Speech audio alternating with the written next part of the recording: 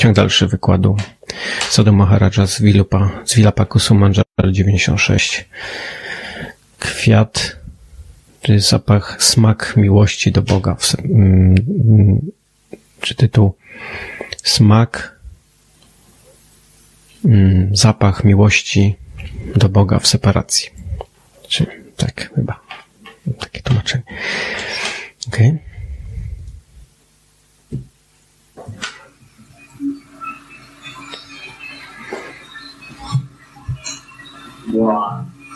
Czytaj dalej.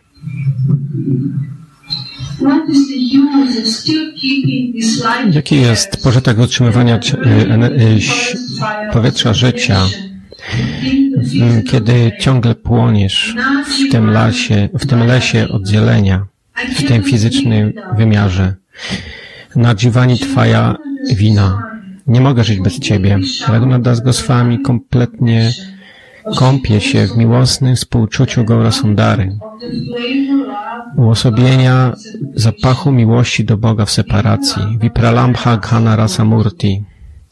I przez długi czas on był jednym z najbardziej intymnych towarzyszy Pana w jego rozrywkach w Gambirze. Tak samo również był oso świadkiem, osobistym świadkiem unikalnych rozrywek i ekstatycznej miłości do Boga.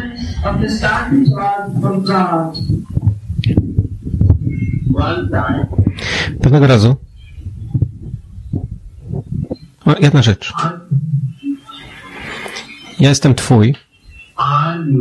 Jestem Twój.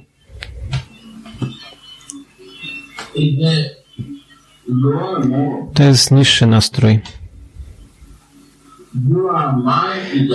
A ty jesteś mój, to jest wyższy nastrój. Zatem dlaczego ta śloka tutaj pojawia się? Ja widzę, że Mahajanowie mówią, jestem twój, jestem twój.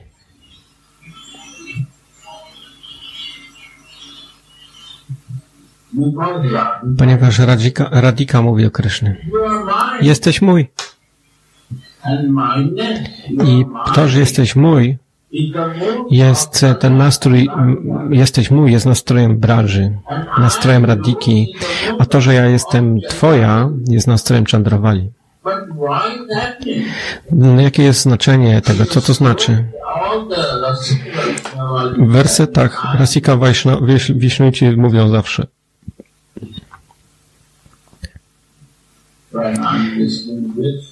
Mówią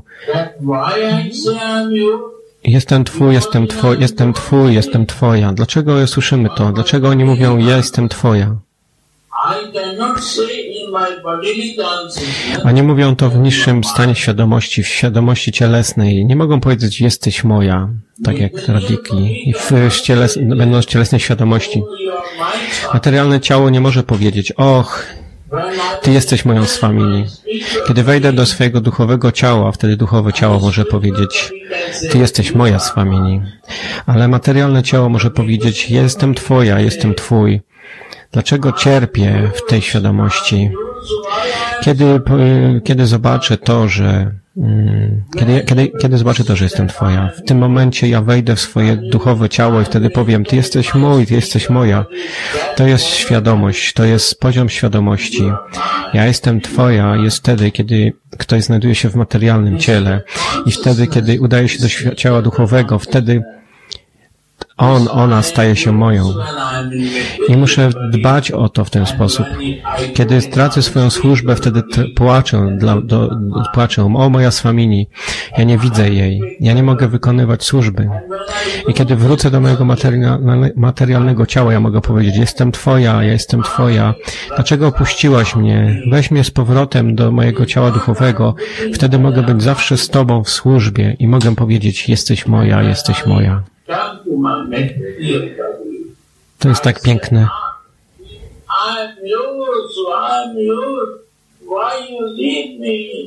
Jestem Twoja, jestem Twoja, dlaczego mnie opuściłaś?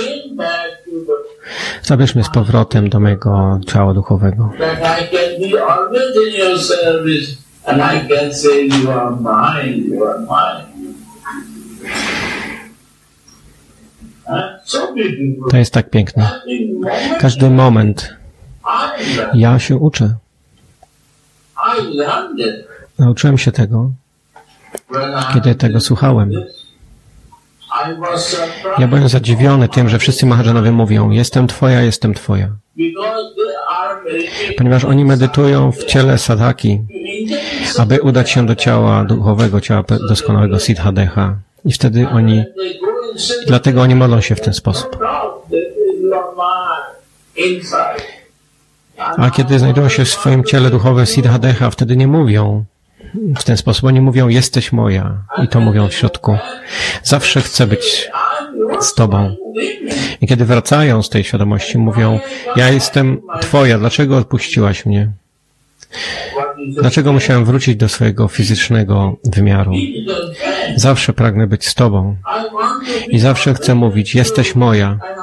Ale kiedy przychodzę do swojego fizycznego ciała, mówię, jesteś moja, jesteś moja. Jestem, jestem Twoja, jestem Twoja i płaczą dlatego.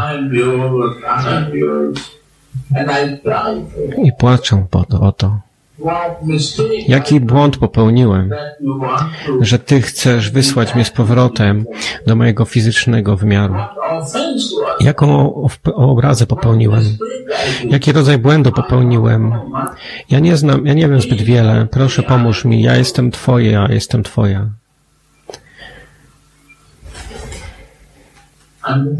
Rozumiesz?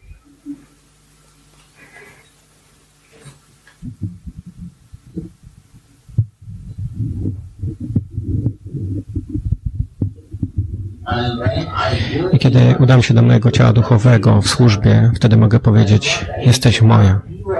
Nie chcę Cię opuszczać. Nie mam innego celu.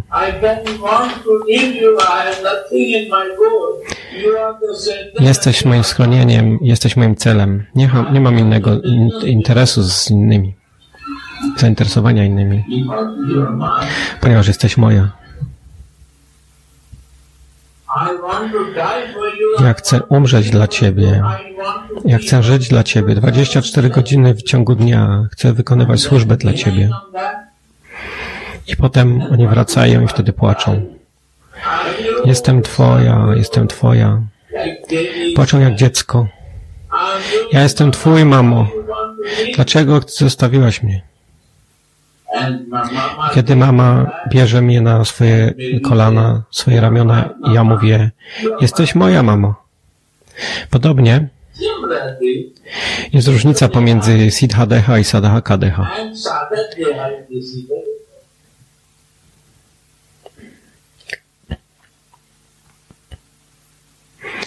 W zależności od tego, od tych warunków pochodzą różne słowa.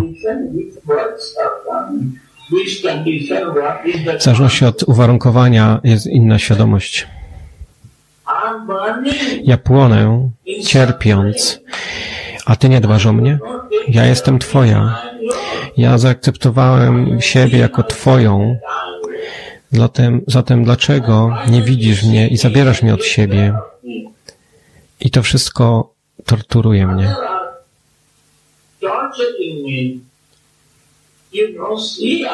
Czy nie widzisz, że jestem Twoja? Jestem pełny, jestem pełny, pełna cierpienia. Jestem Twoja, a Ty nie widzisz mnie? Jakim rodzajem matki jesteś?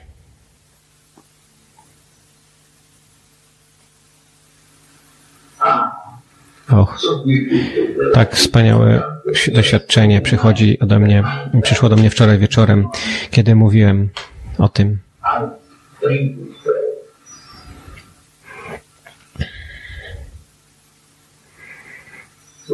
Czytaj dalej.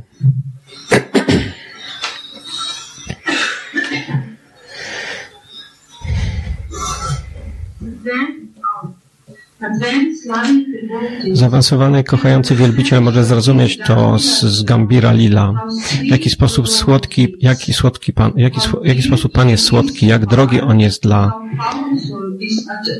jak drogi On jest dla serca i jak mocne są Jego czynności pełne miłości.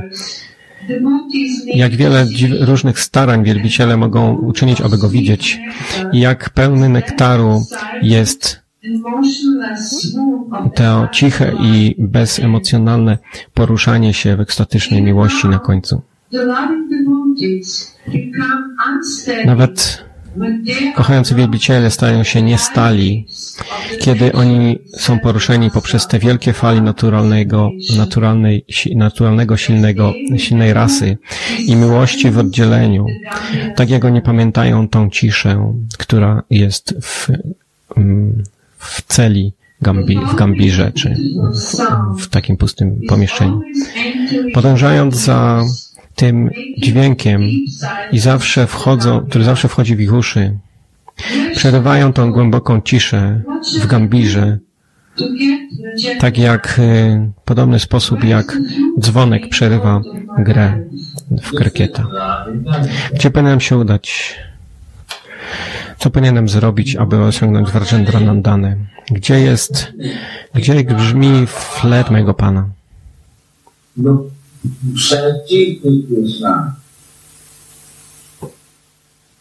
To jest Radika, która to mówi. Wielbiciel nie może tego powiedzieć. Chaitanya jest w Radha Bhav i on szuka Kryszny. Kiedy zobaczysz Chaitanie, tam jest tylko Radika. Jeśli nie wierzysz w to, nigdy nie zrozumiesz Radiki. Jeśli nie wierzysz, nie osiągniesz łaski Radiki. Zobacz. Radika czuje oddzielenie od Kryszny. Gdzie ja pójdę? Co powinienem zrobić? Co powinienem zrobić? Gdzie Cię spotkam? Gdzie ja Cię znajdę? Jest tylko jedna rzecz, która ją interesuje. To był poziom czy stan, w którym był Chaitanya w Gambirze. Dlaczego przyjmuje schronienie Radiki?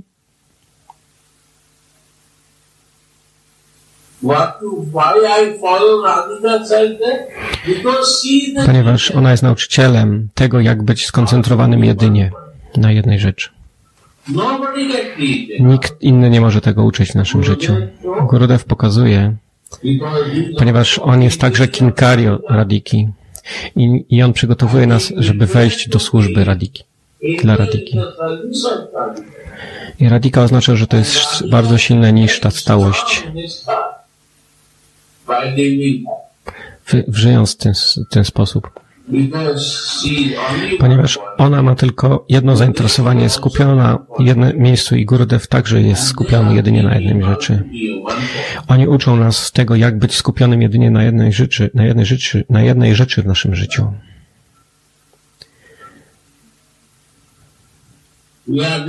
Nasza uwaga jest rozproszona, a ich uwaga jest skupiona.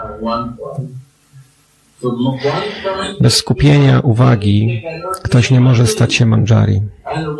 Jeśli ktoś nie rozumie tego skupienia uwagi na jednej rzeczy, on nie może zrozumieć, on nie może stać się służką Radiki Rad, Radhadasi. I bez bycia Radika, Rad, Dasi Radiki, nie ktoś nie może jej widzieć i tego, co ona robi. Jedynie Manjari posiadają kwalifikacje, aby być Radiką.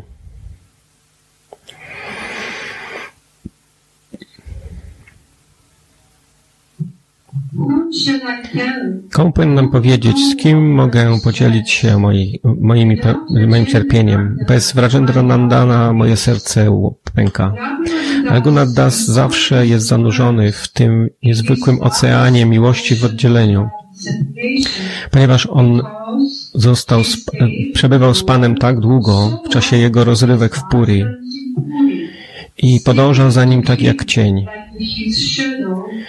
I Pan był tak łaskawy, że On wlał w niego największe, y, największe miłosne odczucia.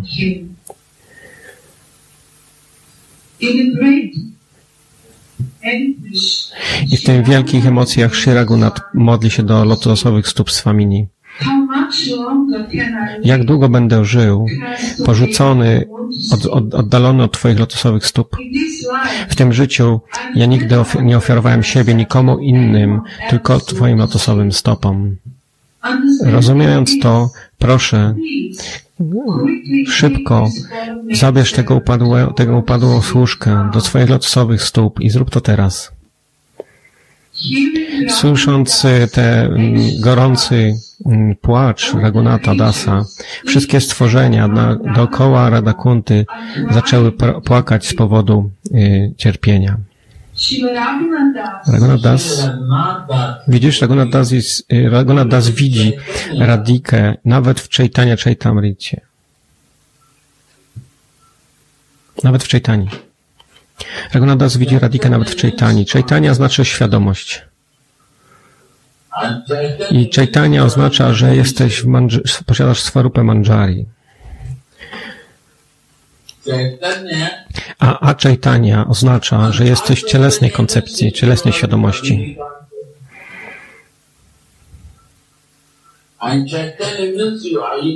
Chaitanya oznacza, że identyfikujesz swoją duszę i siebie i swoje życie jako swarupa, jako manjari, jako forma manjari, duchowym ciele.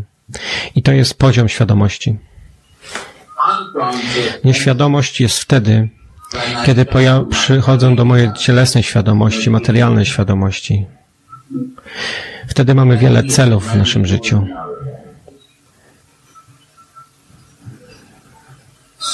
Więc Chaitanya uczy.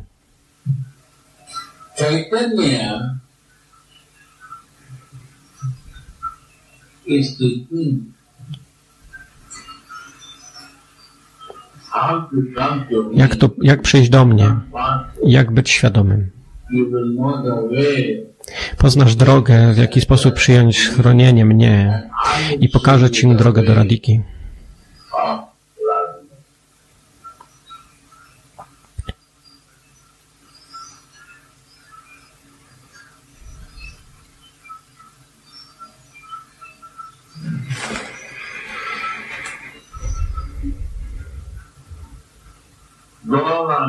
Gauranga. Gauranga oznacza złoty. A imię Radiki jest Gaurangi, także złoty.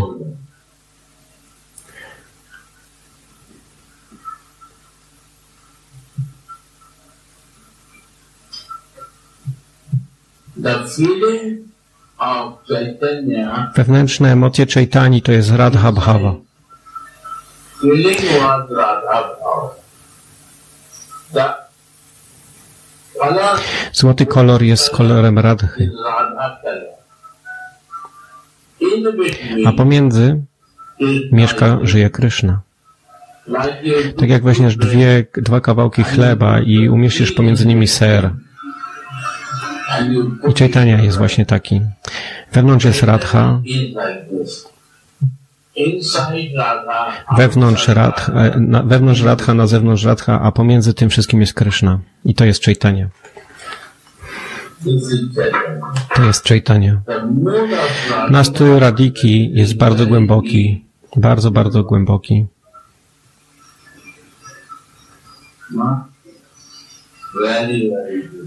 Bardzo, bardzo głęboki.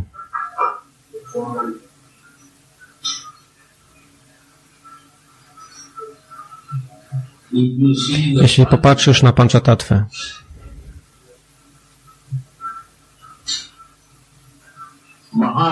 Mahavishnu to Advaita Acharya. Vishnu i Shiva razem, Mahavishnu. To jest Mahavishnu. A Narada jest Shivasą. On jest guru całego wszechświata. Co oni robią? Oni modlą się. Na obrazku zobaczysz ich ze złożonymi dłońmi. Co to znaczy? Że oni modlą się i mówią Przedtem wielbiliśmy Narayana, Krishna Tatwę. Ale teraz rozumiemy, że Radha Tattva jest wyższa niż Krishna Tattva.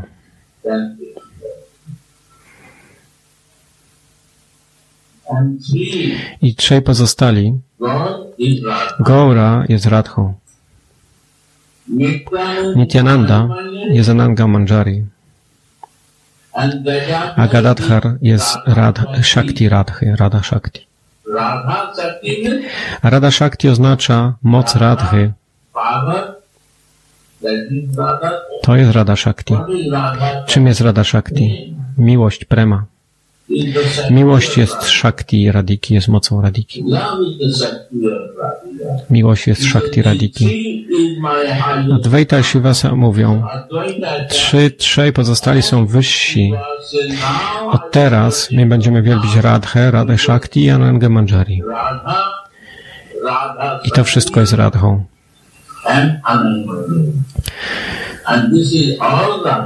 To wszystko jest Radiką. Ananga Manjari jest siostrą Radiki, a Rada Shakti jest premą Radiki. Ptaki, zwierzęta, rośliny, drzewa. tree, they can understand. One wszystkie mogą zrozumieć, czym jest miłość. To jest Rada Shakti i ponieważ ona, ona obecna jest wszędzie, ona jest uniwersalna. Nie ma miejsca, gdzie Rada Shakti nie byłaby obecna. Jeżeli gdzieś nie ma miłości, tam jest zachowanie demoniczne. Ateistyczne.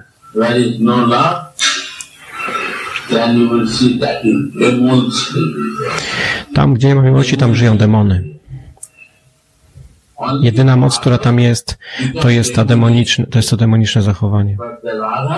Ale Rada Shakti, Prema, ona, do, ona sprowadza harmonię, miłość. Więc oni zaczynają wielbić Radhę. I tam nie ma Kryszny. So they start worshipping to Radha. Krishna here. Tam nie ma Kryszny.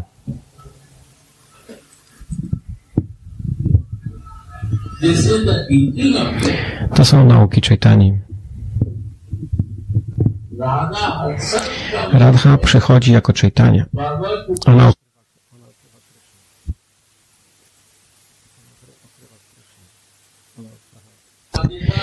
Rada przychodzi jako Chaitanya, ona okrywa Krysznę. Ja nie chcę Ciebie widzieć w tym bólu. Zatem to są uczucia Radiki. I ona, I on jest okryty jako Radika i Kryszna jest pomiędzy tym. Każdy mówi, że Kryszna jest we wszystkich żywych istotach.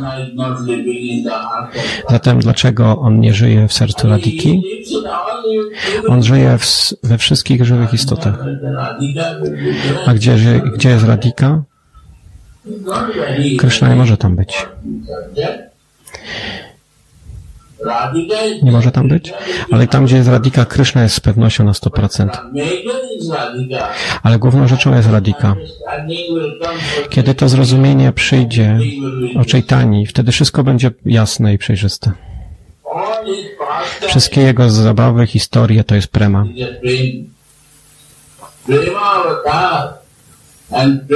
Prema jest imieniem Radiki the name of Radhika. I miłość jest imieniem Radiki.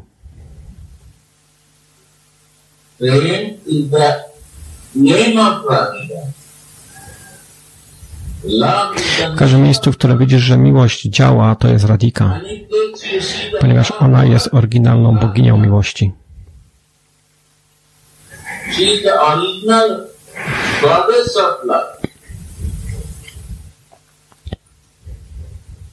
can be in, To może zdarzyć się w kościele, to może zdarzyć się w meczecie, w jakimkolwiek innym miejscu. Dlaczego nie? To jest uniwersalne. Bez rady, work. Shakti Rady nic nie może działać. I to jest miłość.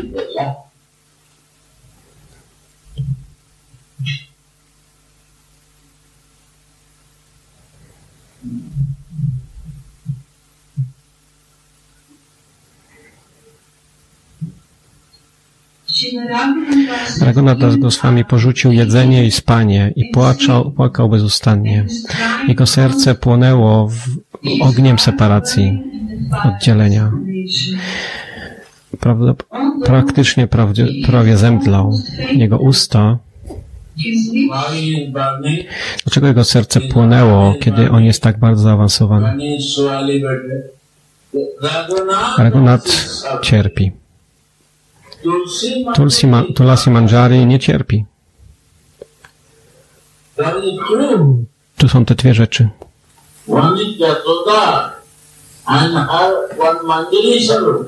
Jedną rzeczą jest Jasioda, a inną jest jej Swarupa Manjari. Zatem one są dwa w jednym. Zatem Jasioda, jakaś wielbicielka, w materialnym ciele płonie. Dlaczego to, to, ten ogień, to płonięcie? Ponieważ, dlaczego, dlaczego, ponieważ płaczę, dlaczego ja wróciłem? To jest płonące, parzące miejsce. Zatem, kiedy wejdę w swoje duchowe ciało i wszystko, co jest tutaj, w tym materialnym ciele, to ten płomień. Gorze. Sprawdź siebie. Ty płoniesz, ja płonę, każdy płonie tutaj. Ponieważ nie znamy innego miejsca, aby się udać. Zatem nie możemy się z niego wydostać. A jeśli ktoś, jeśli ktoś poprzez łaskę Gurudeva zna to alternatywne miejsce, wtedy on nie pragnie płonąć. Dlaczego? Ponieważ pragnie wydostać się z tego płonącego miejsca.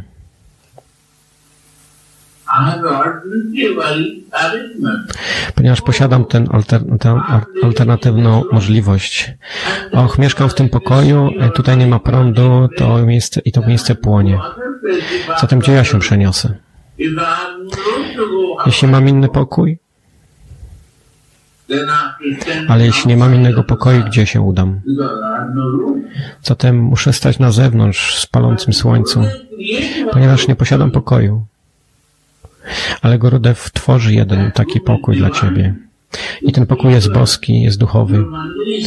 Ten pokój jest twoją, jest Swarupą Manjari, formą, tożsamością Manjari. Tak czy nie? To musisz urzeczywistnić. I kiedy wejdziesz do tego pokoju, wtedy wszystkie twoje problemy odejdą.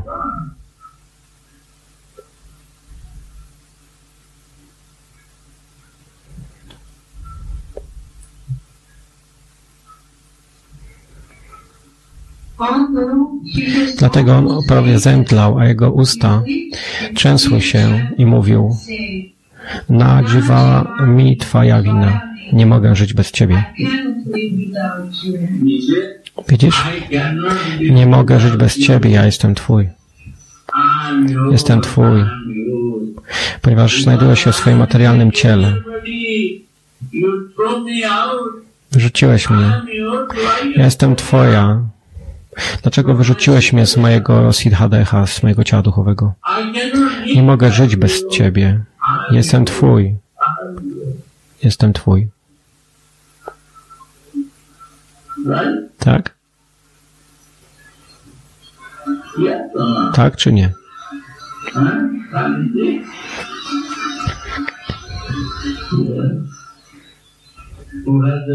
Ten, kto posiada niewielki smak poprzez łaskę Gurudeva, to nie jest możliwe, aby uzyskać to samemu w, w życiu. I Gurudev także nie robi tego samotnie. On robi to poprzez łaskę Radiki. Ona inspiruje go i wtedy Gurudev inspiruje ciebie. To jest jak łańcuch.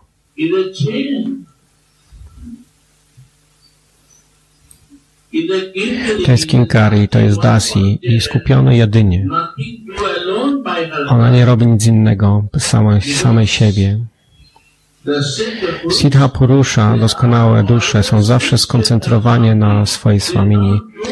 One wykonują wszystko skupione jedynie na jednej rzeczy. To dzieje się poprzez jej łaskę. To jest poważność i podporządkowanie Radice. One nie robią same niczego.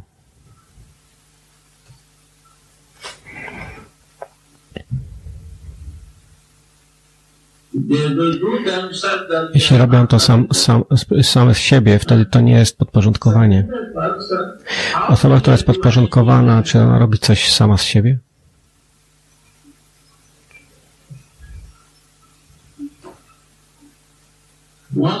Wyobraź sobie taki liść, który płynie wodą. I ty mówisz, przypłyń do mnie. A ten liść nie ma możliwości, aby to zrobić. Jeśli woda płynie w twoim kierunku, on po, przypłynie do ciebie. Jeśli nie, musisz iść tam, w tą, tą stronę, w którą on płynie. Zatem łaska Gurudewa jest taka. Schronienie jest tym. Ten liść zaczyna płynąć. Jiva zaczyna płynąć po, poprzez jej, w tej łasce. Ja udam się tam i on zabierze mnie. To nie jest moja decyzja. Moja decyzja była wtedy, kiedy byłem w swoim materialnym ciele, materialnej świadomości. Kiedy podporządkowałem się, to nie jest dłużej już moja decyzja.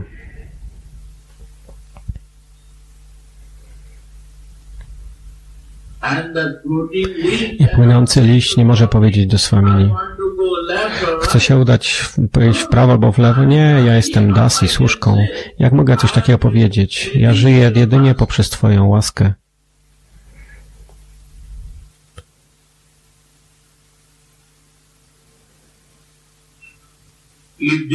Możesz mnie zniszczyć, albo możesz mnie zachować. Jest tylko jeden punkt. To jest schronienie, podporządkowanie.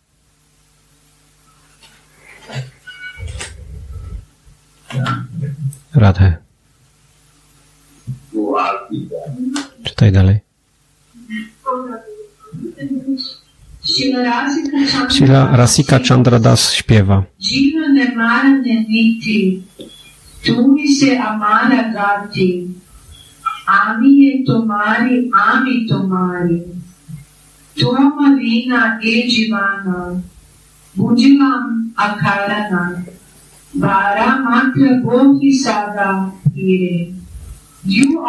ty jesteś moim celem w życiu i w śmierci. Ja jestem Twoja, jestem Twoja. Rozumiem, że moje życie jest bezużyteczne bez Ciebie. Ja po prostu, ja po prostu spędzam życie nosząc dookoła wszędzie tą, ten, to ciężkie doświadczenie. O bogini, teraz i zna, wiesz o tym, proszę zaakceptuj mnie jako swój nie, nic nieznaczący, jako swoją nic nieznaczącą służkę. Weź mnie, umieść u, u swoich lotosowych stóp. I kiedy to pojawi się, kiedy ja umieszczę stanę się cieniem Twoich lotosowych stóp, wtedy będę połączony z sercami, z sercem jako Twój młody. Kiedy, kiedy zostanę umieszczony w cieniu Twoich lotosowych stóp i kiedy będę połączony z sercem Twoich służek. Gurudev Jai, służka. Zatem wtedy nie jesteś w ja jestem Twoja, ale w Ty jesteś moja, świadomości jesteś moja.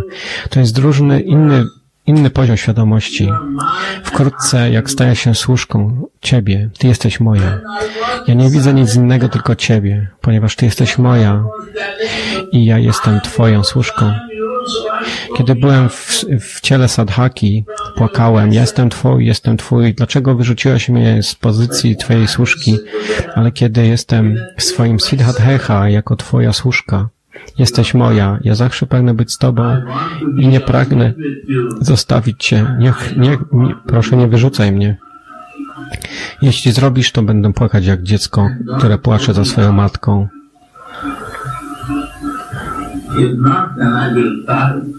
Like baby is crying when mother says, Tak jak dziecko płacze, które, y, kiedy matka mówi, idź, baw się z innymi, wtedy dziecko płacze. Ja jestem twój, matko. Ja jestem twój. Ja jestem twoim dzieckiem. I kiedy matka bierze dziecko na kolana, ona mówi, jesteś, ona mówi, jesteś moja mamo. Zjedz ten cukierek, zjedz to tofi, w, które wkładam ci do usta. Jesteś moje. Ja będę grał z tobą, będę żył z tobą. Jesteś moja. Nigdy nie odrzucaj mnie. to jest zbyt bolesne. To jest nasza Swarupa sadhaka A w Sadaka Avesha mówimy, ja jestem Twoja, jestem Twoja. Zabierz mnie z powrotem do siebie. Jeśli jestem obraźliwą, złą osobą i popełniam błędy i nie pojawiam, jestem zbyt zły, wtedy wyrzucasz, wtedy wyrzucasz mnie. Ale nie wyrzucaj mnie od ciebie.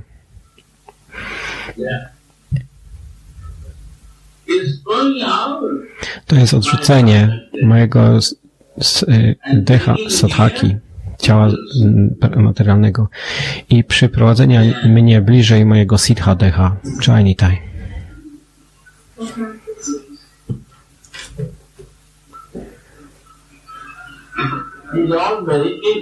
To jest koniec komentarza do wersetu 96. To wszystko jest medytacja, piękna, prawda, czyż nie? Och, baba. To jest piękna, piękne, piękne i to jest pełne miłosierdzia Ananty Das Babajiego. To są złote słowa. Jego własne urzeczywistnienia. Gdzie to uzyskasz? Jeśli będziesz czytać tą książkę, zrozumiesz to.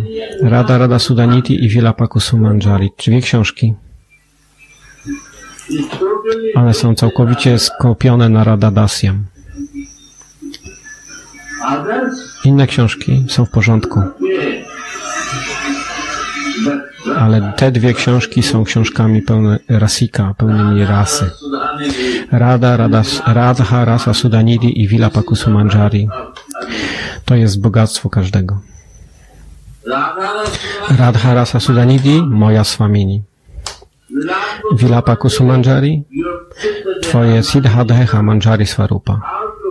W jaki sposób praktykować w Swarupie Manjari? To jest Vilapaku Sumanjari. Vilapaku Sumanjari, nie inna rzecz. Inne książki nie nauczą cię tego, jak to praktykować w twoim Siddha Deha.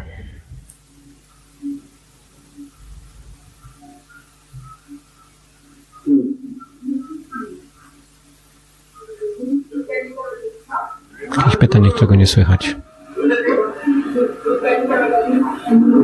Odpowiedzi też nie słychać.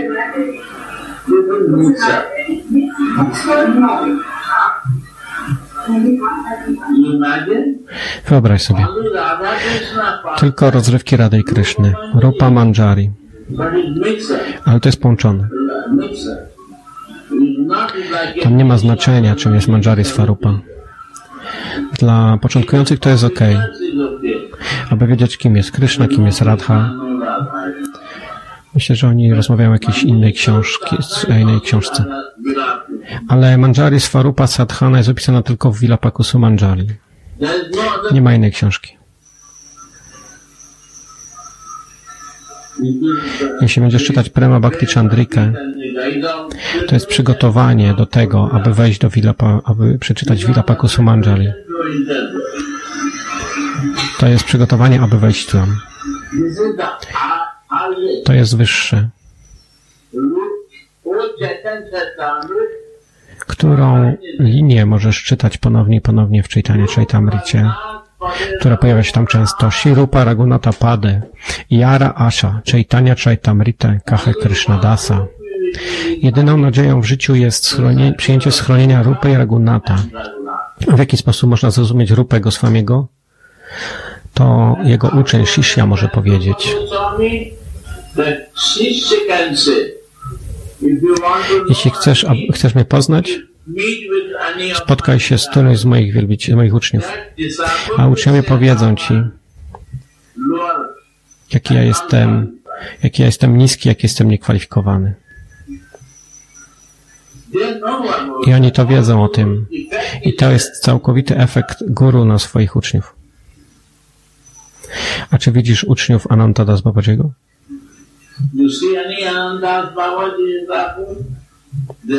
Oni są tak znieśli. Dlaczego? To jest efekt, który guru, to jest efekt guru, który na nich wywiera. Tak czy nie? To wszystko pojawia się, taki jest efekt. To jest jak lustro.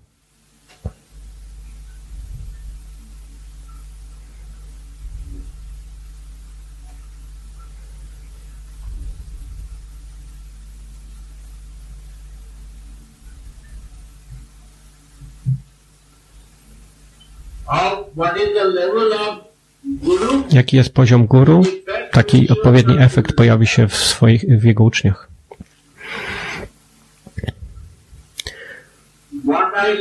Czego się nauczyłem? Że to, czego się nauczyłem, to jest mały efekt mojego wpływu mojego guru Devarada Govinda Das Babajiego. Kesar Baba. Keshav Baba. Ten efekt tam także jest. This is the sun. To jest samskara. Natura pewnością wydarzy się w ten sposób.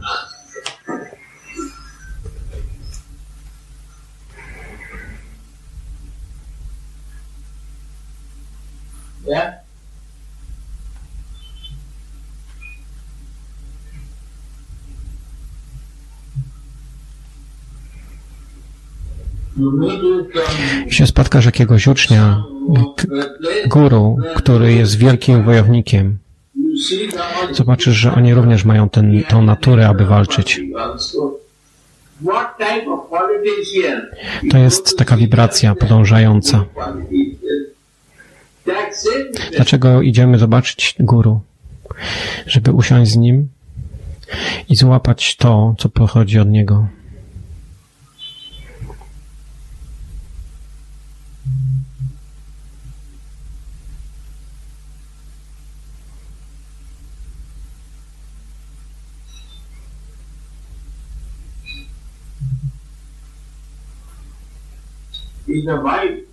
Ponieważ to jest wibracja. I ta wibracja ma na nas wpływ. Wibracja. I zobaczysz, że cuda zaczynają się dzieć. Zaczną się dziać cuda. Chamatkara, Rada Govinda Das Babaji. On nie jest tutaj w fizycznej formie, ale jego wibracja jest ciągle tutaj obecna i ona tu mieszka.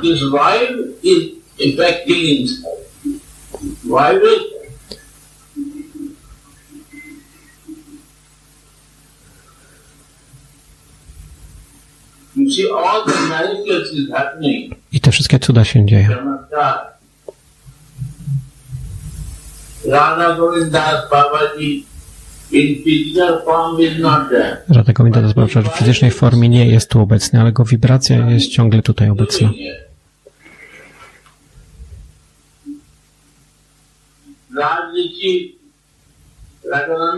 Raghunandan Prasad nie jest tutaj, ale jego wibracja jest ciągle tutaj obecna.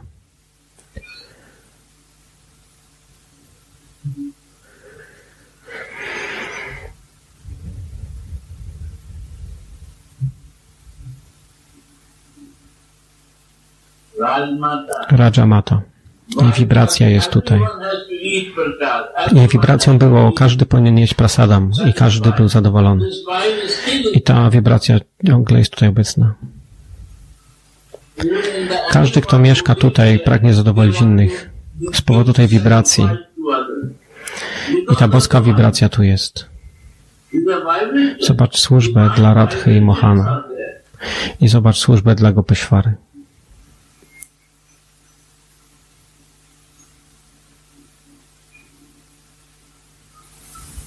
Service of Radha Moni Service of. Everywhere where service Wszędzie jest służba i ta miłosna wibracja. Tak wiele, o, o także tak wiele pracy się dzieje i ona jest spokojna i w tej wibracji. Czy, czy widzisz to? Negatywne wibracje pragną tu wejść, ale one nie znajdują sposobu. Ponieważ ich wibracje są tak silne, że one nie mogą być niepokojone.